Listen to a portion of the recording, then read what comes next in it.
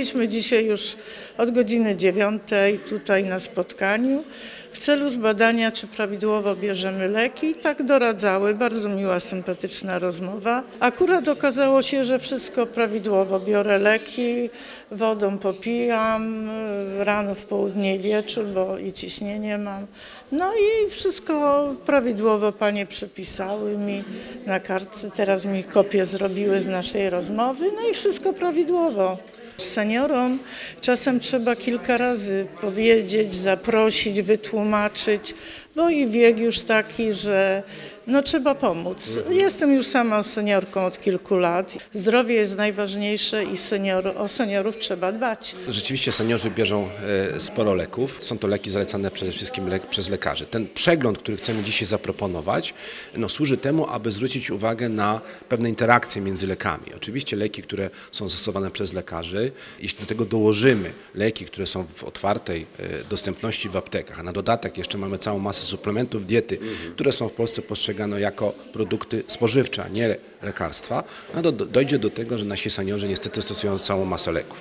Naszą intencją nie jest, broń Boże, wchodzenie w kompetencje lekarzy, poszczególnych specjalistów, natomiast zwrócenie uwagi na interakcję między tymi lekami, a, a właśnie tymi suplementami diety chociażby, czy też lekami dostępnymi bez recepty. Te statystyki ostatnich lat rzeczywiście chyba potwierdzają to, że no nie powiem, że jesteśmy lekomanami, ale, ale rzeczywiście tych leków przyjmujemy bardzo dużo. Jeśli chodzi o leki, no to, to się utrzymuje na pewnym tym samym poziomie, natomiast jeśli chodzi o suplementy diety, no to rzeczywiście ten wzrost jest olbrzymi. Jeśli, jeśli e, w 2010 roku wydawano, Polacy wydawali około 2 miliardów złotych na suplementy diety, to w 2020 już ponad 5 miliardów złotych.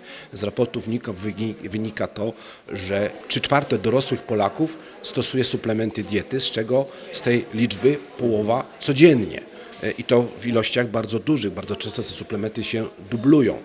Co gorsza, 86 bodajże procent z tej grupy stosujących suplementy diety ma głębokie przeświadczenie, że to są tak naprawdę leki, które działają. I to jest największy problem. Taki przegląd seniora, tutaj dzisiaj organizowany przez nasz szpital, ma na celu zwrócenie uwagi, że nie, nie wszystko złoto, co się świeci, nie wszystkie te preparaty są w ogóle skuteczne, bo w ogóle działają. Celem przeglądu lekowego jest analiza wszystkich leków, leków, leków przepisanych przez lekarza, leków dostępnych bez recepty, suplementów diety oraz preparatów roślinnych. Te wszystkie leki dzisiaj pacjent y, zabrał ze sobą tak, na nasze przeglądy lekowe. Dzisiaj wykładamy wszystkie preparaty na stół i dokładnie analizujemy, pytamy się o pory przyjmowania, o przestrzeganie zaleceń lekarskich, sprawdzamy interakcje lekowe oraz interakcje z pożywieniem. Jakie są te pierwsze wnioski, analizy, bo ci pierwsi pacjenci e, wychodzą już z konkretnymi też uwagami od Państwa. Tak, właśnie mamy pierwszego pacjenta. Już podczas y, pierwszych minut dowiedzieliśmy się, że pacjent nie przestrzega zaleceń lekarskich, zapomina wziąć y, lekarstwa oraz, że ma zdublowane pozycje niestety, tak?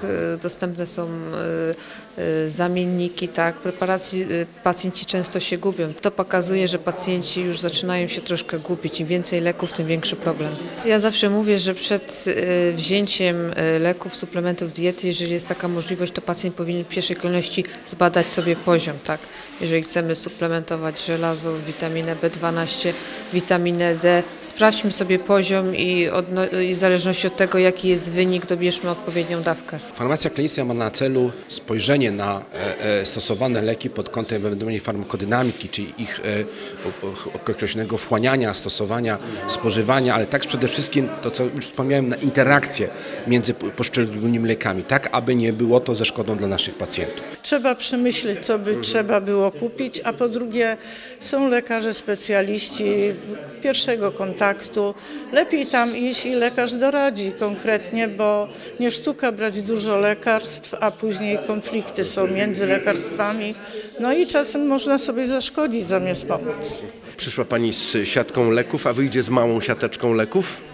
No, ta jeden lek jest wątpliwy, y, ale po prostu to trzeba skorygować jeszcze ze specjalistą, czy tak jak panie proponują, ale po prostu bardzo jestem zadowolona z tego spotkania. Tak mogę podsumować to dzisiejsze spotkanie.